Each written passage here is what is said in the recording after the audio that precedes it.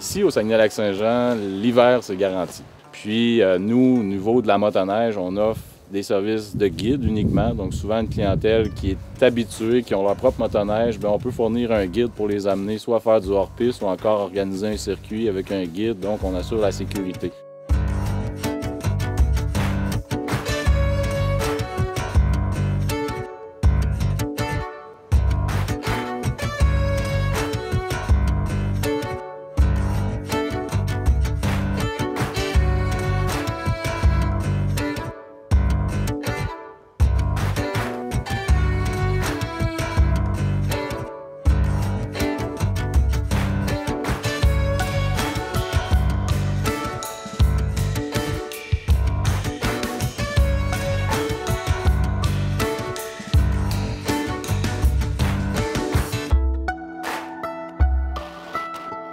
Nous, on est membre d'Aventure Écotourisme Québec.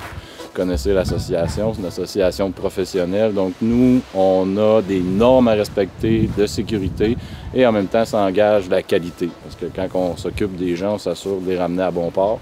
Donc, on mise beaucoup sur la prévention et sur la sécurité. Je présente les sentiers de motoneige du, euh, de la région du Saguenay-Lac-Saint-Jean. C'est 3530 km de sentiers de motoneige, donc damés, entretenus. Autrement, il y a à peu près l'équivalent en termes de sentiers hors piste qu'on peut faire. Donc, on reconnaît le fjord du Saguenay juste ici. Donc, euh, nous, on a un forfait où on fait le, tour du fjord complètement, sinon le secteur du lac Saint-Jean. Donc, euh, nous, on est vraiment là, dans le secteur des Monts-Valin. C'est lui qui est plus populaire au niveau de la motoneige.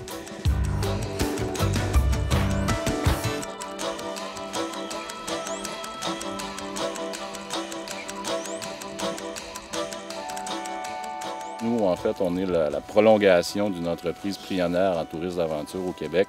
Donc, on poursuit le rêve de, jeunes passionnés qui ont démarré ça en 92. Donc, on fait vivre encore les mêmes expériences.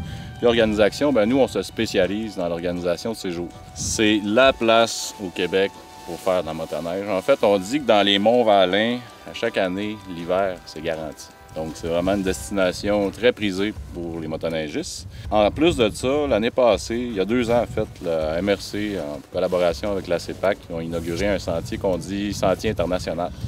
Donc, il y a des sommets qu'on peut euh, franchir en motoneige pour avoir des super beaux points de vue, autant sur le fjord, le lac Saint-Jean que les vallées glaciaires dans l'arrière-pays.